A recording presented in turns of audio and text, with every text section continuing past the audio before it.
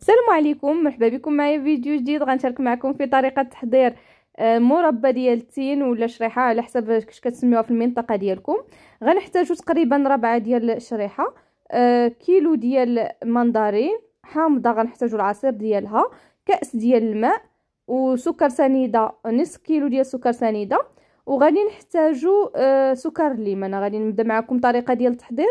من بعد ما عصرنا كيلو ديال المندارين على هذا الشكل غادي نضيفوا ليه نص كيلو ديال السكر سنيدة.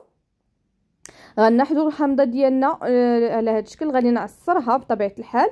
وغادي ناخذوا قبصة ديال آه، سكر الليم. سكر الليم راه كيكون عند العطارة ومتوفر الصراحه غنحتاجوا كأس صغير ديال ديال الماء.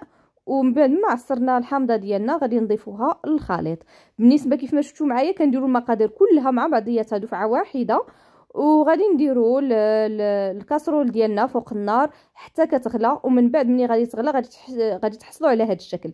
يعني آه غادي نخليها تقريبا راه جاية لساعة إلا ربع وهي كتغلى.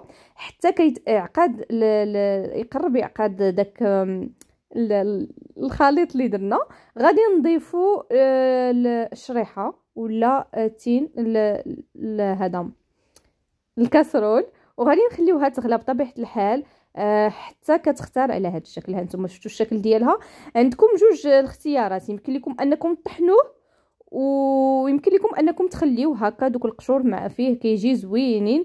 صراحة الاختيارات بجوج مزيانين آه، اللي اللي اللي حبيتو ديروها. هنايا كيف ما شفتوا معايا راه كيجي واحد المربى اللي عاقد وزوين وتستعملوه في جميع الوصفات ديالكم حتى في الفطور كيجي زوين.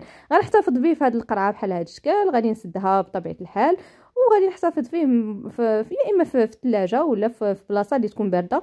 إلا كان فاصل الشتاء ماشي مشكل تخليوه الخارج إلا كان فاصل الصيف اللي كيكون سخون الحال باش ما يحمضش لكم كتحتفظوا به في الثلاجة. كنتمنى الوصفة تنال اعجابكم إلى اللقاء في فيديو جديد إن شاء الله.